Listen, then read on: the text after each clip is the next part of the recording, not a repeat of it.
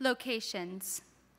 The professor's daughter is in her middle school when the lockdown bell rings. She crouches next to Bella Russo, who has scattered freckles on every inch of skin. Are you going tonight? she asks. The student teacher hushes her so no one would hear them. The man with the gun is at the school. The professor's daughter is inching closer to Bella.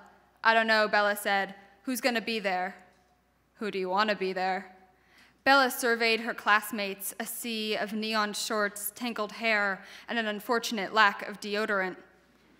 You, she answered.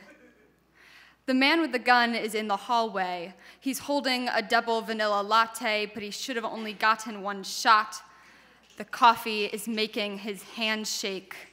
The student teacher is sitting in the classroom, knees curled up. The students joke about who got knocked up and kicked out. They think it's a drill. No one had told her that it was. When she gets home, when her boyfriend hears about this day, he will order double chicken lo mein and Sprite and watch reruns of Seinfeld. He will stroke her hair and tell her how much he loves her. The professor's daughter is braiding Bella Russo's hair. It was so curly that when Bella didn't brush it, the hair puffed up around her shoulders like a perm. You're like really pretty, the daughter said. Thanks, Bella said, biting her nail. Then, I think my parents might be getting divorced. They haven't told me, but I can tell. I'm sorry, the daughter said. I don't know how they stopped being in love. Did they stop trying? I'm not sure that's how love works, the daughter says. What does trying have to do with it? Lots, Bella says, like, I think I could love you if I tried.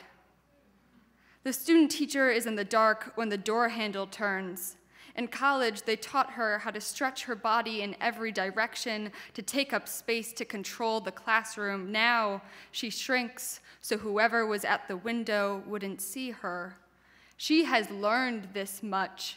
Should the door open, she will stretch her body in front of the children.